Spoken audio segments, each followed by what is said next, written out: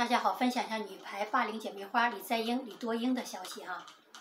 近日，李在英、李多英接受了 KBS 电视台的专访。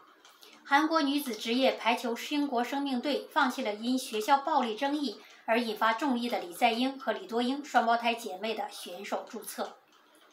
这是不是意味着可以参加其他俱乐部进行打球活动啊？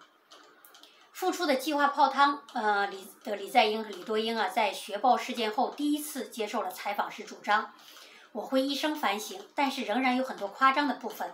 在冰冷的舆论面前，兴国生命发表了立场，放弃了李在英和李多英的选手注册。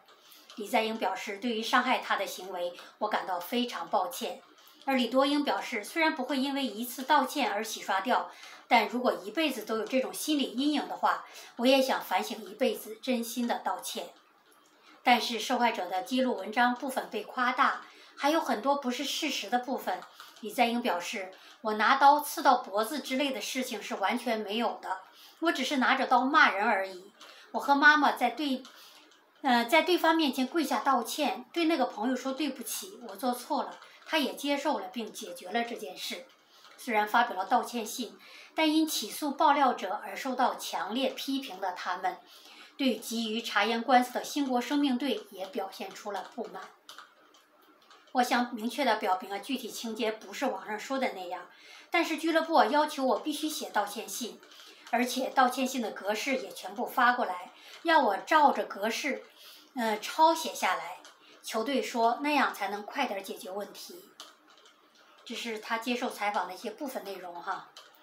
嗯，对于拿着刀没有刺别人的脖子，但是拿着刀威胁别人，本身就是已经是犯罪了，是吧？这一点好像他还没有意识到这个错误啊。啊，还是希望能好好的、真心的反省，早点打球啊！毕竟他们现在还年轻。啊，挺可惜的一对姐妹花哈。如果经过生命队他们放弃了选手注册，我觉得好像是可以到其他俱乐部进行注册啊，也许这是一个好事儿啊，但是不知道其他俱乐部敢不敢接受他们。谢谢。